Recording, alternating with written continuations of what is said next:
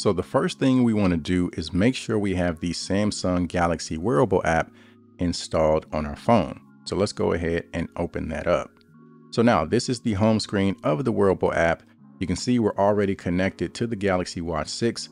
And one of the first things that I like to do is rename the watch. So what you can do is go into watch settings and we can scroll down and go to about watch. And if you want to customize the name so that when you're using your different devices, the watch is easily identifiable, all you have to do is click on edit. And as you can see, you can put in here whatever you want. Another thing I like to do as soon as I get the watch is make sure that it's up to date on the latest software. So again, you can go into watch settings and we're going to scroll down and we're going to go watch software update. And what you can do is click on download and install, and it's going to check for any updates. As you can see, we are up to date on the latest software, so we're good to go. Now, another thing that you can change in here is the auto update option. So I actually recommend keeping this turned off.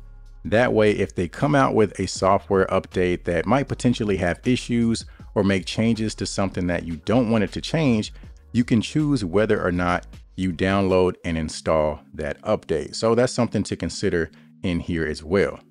So now that we actually have the watch in hand, let's go ahead and scroll down and go to our quick panel and let's click on the settings icon.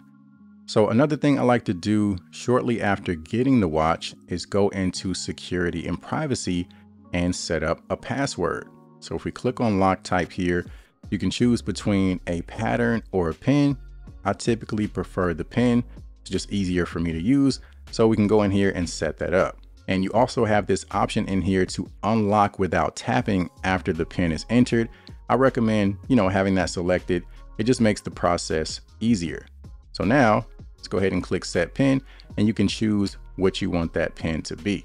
So now we have the pin set. This way, if we lose the watch, you know, nobody can just find it and get into it especially if you plan on using things like contactless payment. So you have some other options in here as well. For example, the hide information option. Uh, so basically when the watch is locked, you can make sure that it doesn't display any personal information. So if you had the watch sitting down somewhere, maybe on a desk and someone else picks it up, they can't really see any of your information from the lock screen. So I do like having that turned on. Now, if we scroll down, we also have the option of wrist detection. And I like having this feature turned on as well. Basically, if you're not wearing the watch, for example, you just have it sitting on a nightstand or a desk, your notifications won't appear. So that is an option that can help you save battery life. Now, if we go back into our settings and go to display, another feature that I like to change is the adaptive brightness. I actually prefer to have this feature turned off I much rather just control the brightness myself. I feel like that's another feature or a step that you can take to help preserve the battery life even more. Otherwise, the brightness is going to be constantly changing when you go from indoors to outdoors. Now, also under the display tab, you have the always on display if that's something that you want, and you have the raise wrist to wake option. So with the raise wrist to wake option, say that five times fast, Anytime you simply go like this with your wrist while wearing the watch, it will turn the watch face on so that you can quickly see the time or check your steps or anything of that nature. So if that's something you want turned on, you can access that right there. Now I prefer the touch the screen to wake. Um, that's just easier for me and it prevents the screen from turning on accidentally from just, you know, moving your wrist throughout the day. Now, if we continue to scroll down, uh, you can also change the screen timeout option. So the default is 15 seconds. I actually changed mine to 30 seconds. So it gives me a little bit more time before the screen times out. And then if we keep going, you can actually change your font style. So you can see the one that I have selected is the rosemary option. I think it looks a little bit nicer than the default.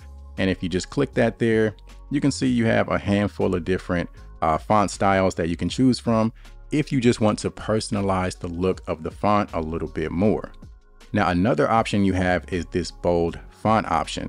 So that just makes the text a little bit thicker and makes it easier to see. um, if you're having trouble, you know, seeing it. And I like having that feature turned on as well. So we'll leave that turned on. And then you can also control the font size. So if you want to make the size bigger, again, if you're having trouble seeing the text on the screen, you can make these adjustments in here and just really customize the way that the font looks on your watch. So very, very helpful stuff. Now, if you go back to the display tab, you also have this touch sensitivity option. So if you turn this on, that is going to increase the sensitivity of the touch controls on the watch. For example, if it's wintertime and you're going to be wearing gloves, this is actually going to allow you to use the watch with gloves so that, you know, you can keep your hands warm, but still make use of your watch. So that's a very helpful feature in here under the display tab. So now let's go back to the settings and this time let's go to the health tab. And something that I like to do is make sure that the heart rate and the stress detection is set to manual only. So this is only going to check your heart rate and your stress levels when you manually initiate it to do so. Otherwise, it's going to do it periodically throughout the day. Uh, but for me, I'm not really buying the watch primarily for the different health metrics. So it works for me to have this set to manual.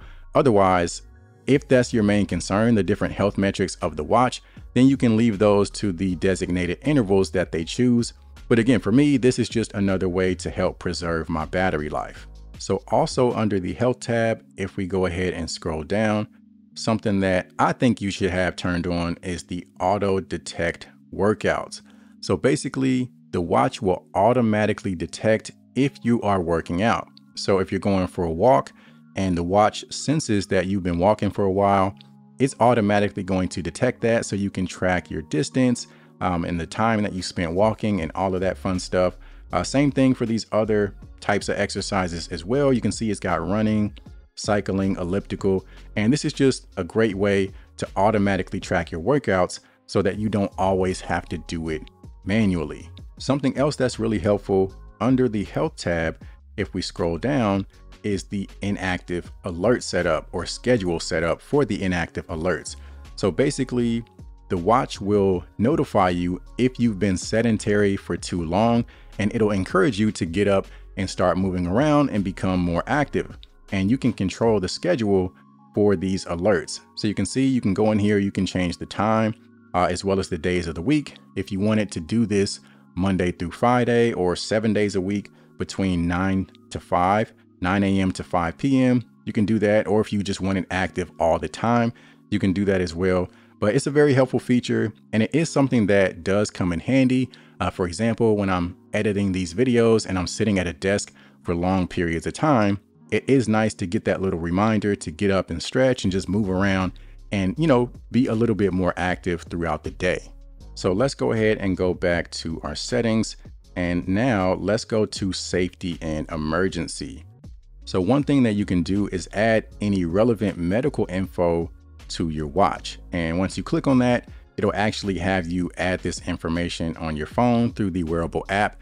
And this is useful, uh, for example, if you have certain medical conditions and if there was ever an emergency, uh, maybe you passed out or something like that, and when first responders get to you, they can look at your watch and see any medical conditions that you have. That way they can better and quickly assist you. So that's just uh, something to consider for sure in case of an emergency. Another option you have is your emergency contacts. So in case of an emergency, you can have your contacts in here that you want to reach. As you can see, I have my wife and uh, for now, that's all I have. But if you had other contacts that you wanted to enter in here as well, you do have that option. So if we go back again, you also have this emergency SOS option. So if you hit the home button a total of five times in a row, that will trigger an emergency SOS. And you can see you can control the number that the watch will call in case of an emergency. I have mine set to 911, but if you wanted to change that to one of your emergency contacts, you could do that. Now, if you scroll down, you also have this option to share info with your emergency contacts.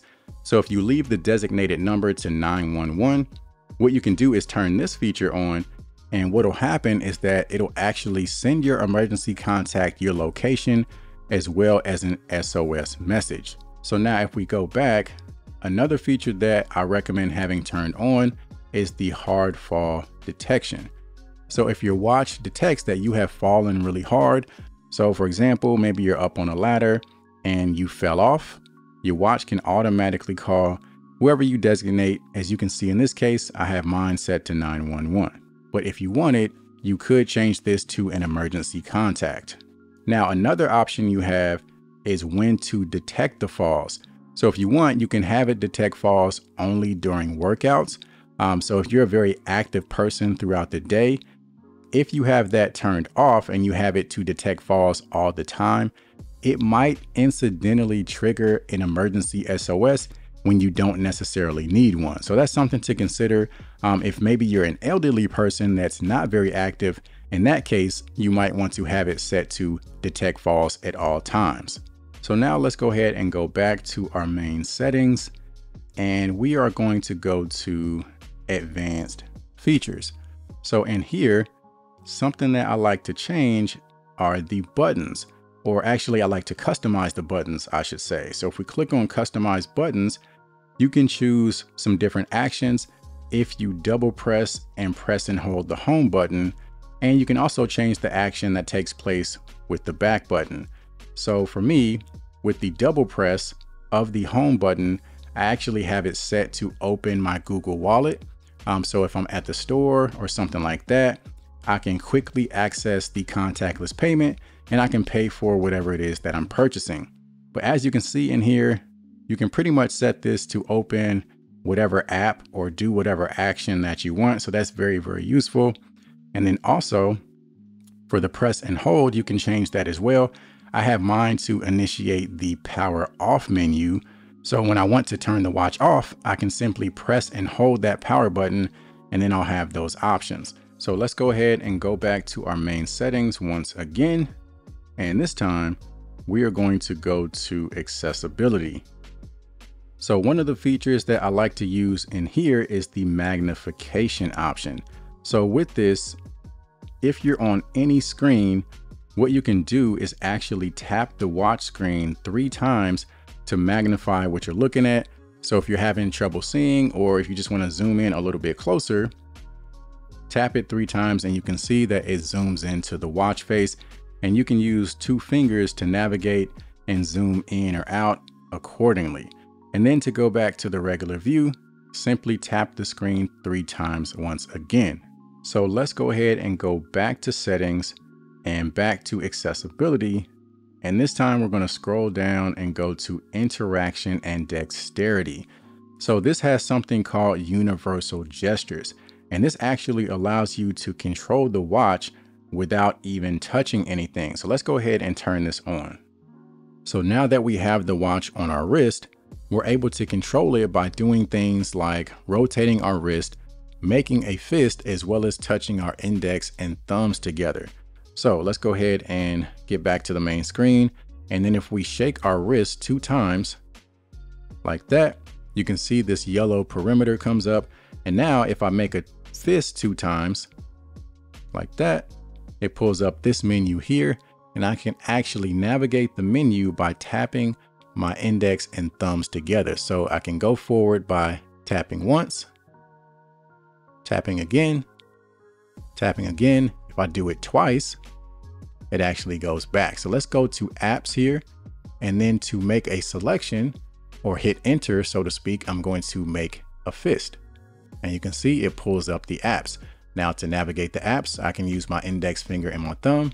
So we'll tap it, tap it again, and you can see it cycles through the different apps as I touch my fingers.